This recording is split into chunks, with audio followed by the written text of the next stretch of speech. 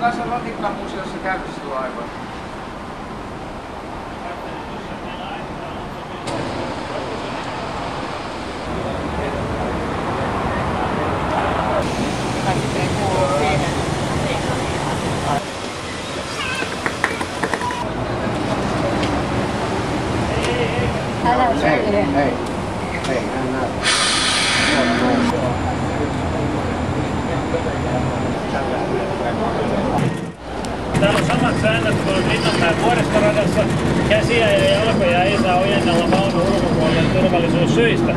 Tässä on tolppia lähelle ja kaikkea muuta. Thank you.